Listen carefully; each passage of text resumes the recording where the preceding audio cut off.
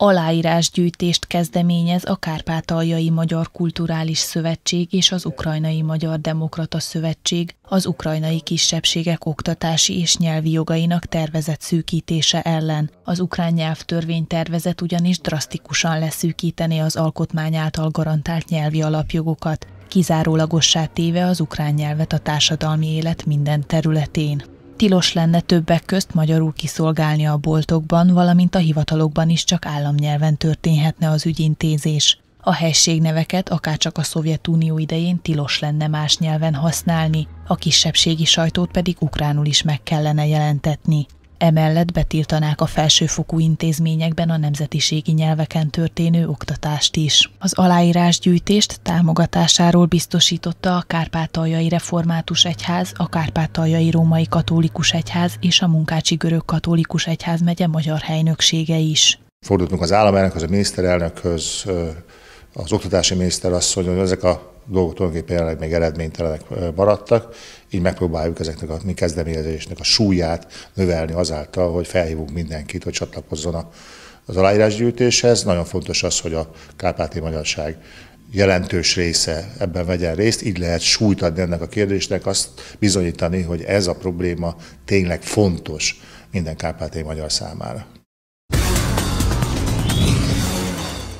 A minimálbér emelése az új reformokkal egyetemben hosszú távon pozitív hatással lesz Ukrajna lakosságának foglalkoztatottságára, olvasható az Ukrán Nemzeti Bank elnökének közleményében. Valeria Hontárjeva megjegyezte, az inflációs jelentésben szereplő adatok is őt igazolják, miszerint a hivatalos foglalkoztatási mutató nagyobb, mint az elbocsájtási. A Nemzeti Bank elnöke hangsúlyozta, hogy a minimálbér emelkedése elősegíti a belső fogyasztás növekedését, és ezáltal megnő a kereslet a munkaerő iránt, ami a jövőben növelni fogja a lakosság foglalkoztatottságát. A minimálbér növekedése ösztönzőleg fog hatni az emberekre, hogy ismét visszatérjenek a munkaerőpiacra.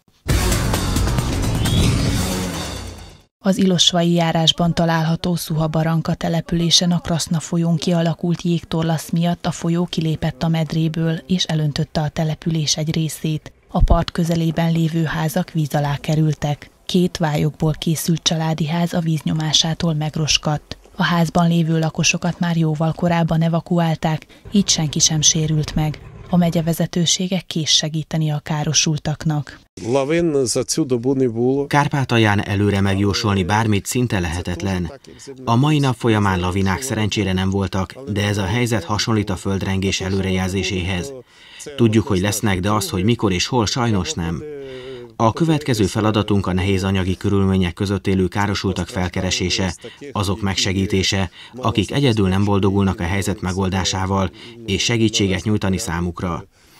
Továbbá fel kell mérnünk a sérült gátak számát, mely után a miniszteri kabinethez fordulunk segítségért, hiszen a gátak újjáépítése jelentős összegbe kerül, és ezt sajnos sem a megyei, sem a járási költségvetés nem tudja finanszírozni. Január utolsó napjával véget ért a külső független tesztelés próbatesztjeire való regisztráció. A korábbi évekhez hasonlóan a megmérettetés célja, hogy a tanulók megismerkedjenek a tesztelés menetével és felépítésével. Minden résztvevő, aki január 31-éig regisztrált, két tantárgyból mérettetheti meg magát. Az ukrán nyelv és irodalom mellett Ukrajna története, matematika, biológia, földrajz, fizika, kémia vagy idegen nyelv között választhat. Ukrán nyelv és irodalomból április 1-én kerül sor a próbatesztre, míg a többi tantárgyból 8-án. A legutóbbi adatok szerint több mint 82 ezer érettségiző jelentkezett az előtesztelésre, ami az idei végzősök 41 százaléka.